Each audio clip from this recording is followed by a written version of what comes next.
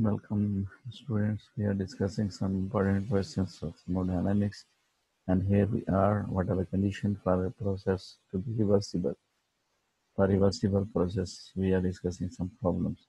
Although there is no perfect reversible process in universe, but following of the conditions are fulfilled, then it is possible to make the process to be reversed.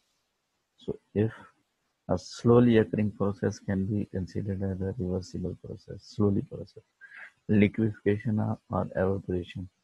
So this is one example, liquefaction or evaporation of a substance performed slowly.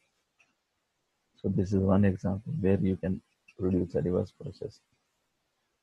Number two, no net change in the entropy of the system and surrounding.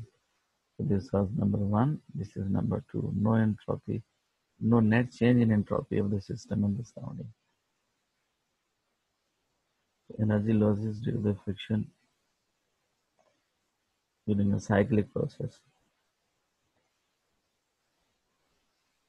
So these are the three points. Here are the three points due to which we, we, we can uh, make the condition for reversible process to occur. So what are the conditions for our process to be reversible? Although there is no perfect reversible process, we follow these three steps.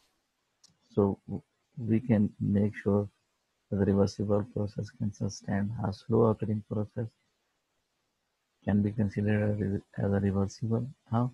Liquefaction and evaporation. These two are basically slow, slow process and due to these slow perfect, uh, processes, uh, system can perform reversible process. No net change in entropy of the system and surrounding.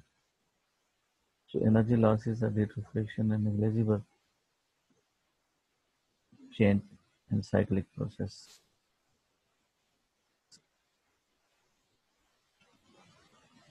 So thank you very much for your patience.